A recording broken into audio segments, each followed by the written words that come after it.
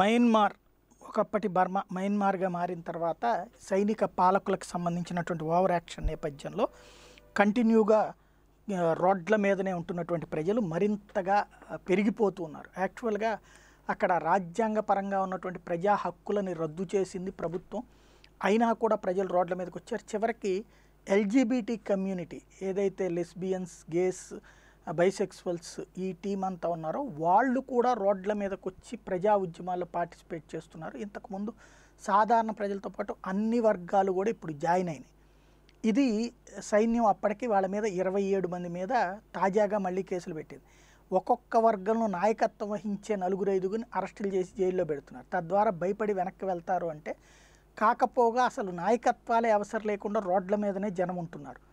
మనకు మళ్ళీ ఎక్కడికి మళ్ళీ ఏది మన రైతు ఉద్యమం పేరుతో జరుగుతున్నటువంటి చోటకి మళ్ళీ మసాజ్ పార్లర్ను లేకపోతే భోజనాలు మంచినీళ్ళు అక్కడ ఎవరు ఇవ్వట్ల.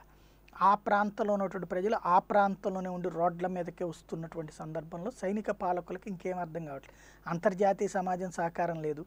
అదే సందర్భంలో స్వదేశంలో సహకారం లేదు. ఇది క్రమక్రమంగా ముదిరిపాకాన పడుతున్నప్పుడు ఒక్క చైనా వాడు తప్పించి మిగతా వాళ్ళందరూ కూడా వ్యతిరేకిస్తున్నటువంటి వేళ ఏం చేయాలో అర్థం కాక ప్రస్తుతం చైనా సలహాలు తీసుకునేటువంటి పనిలో ఉన్నారు.